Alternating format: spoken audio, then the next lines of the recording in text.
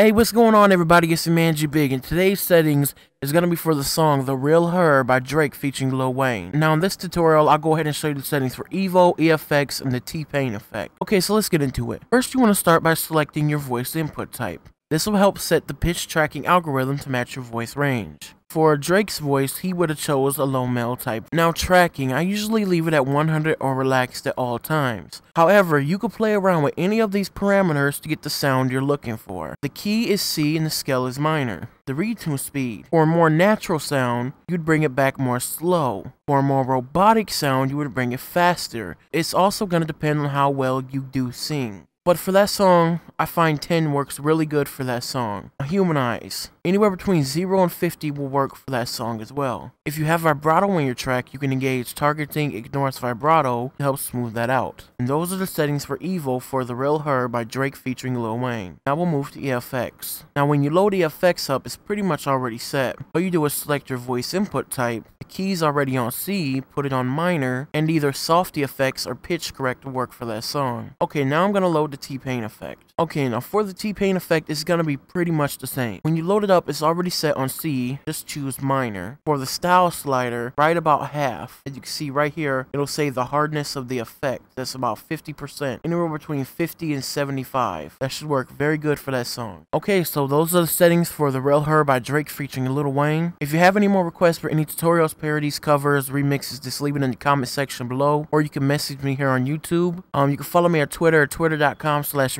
and I'll follow you back as soon as possible. All links will be in the description below.